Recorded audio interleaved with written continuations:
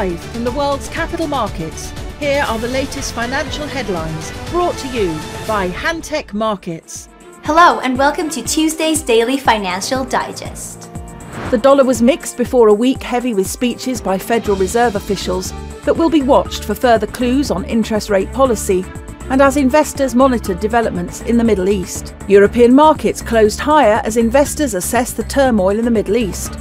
The Pan European Stoxx 600 index ended up 0.2%, with most sectors and major bourses in positive territory. Oil futures fell more than $1 a barrel as expectations rose that the US and Venezuela could soon reach a deal easing sanctions on Venezuelan crude exports, while traders said the Israel Hamas conflict did not appear to threaten oil supplies in the short term. The dollar yen price remained largely unchanged in the last session.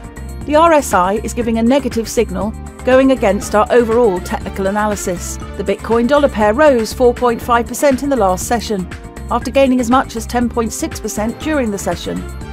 The ROC is giving a positive signal. The gold dollar pair corrected downwards in the last session, falling 0.2%. The ultimate oscillator is giving a positive signal. The oil fell 0.7% against the dollar in the last trading session. The stochastic RSI is giving a positive signal, which matches our overall technical analysis. The US retail sales will be released at 12:30 GMT. The Eurozone's ECOFIN meeting at 0700 hours GMT Japan's tertiary industry index at 0430 GMT. The US industrial production will be released at 1315 GMT. Australia's RBA meeting minutes at 0100 hours and 30 minutes GMT. The Eurozone ZEW survey, economic sentiment at 0900 hours GMT. We hope that you've enjoyed Tuesday's financial report. On behalf of all of us here, we wish you a productive trading day.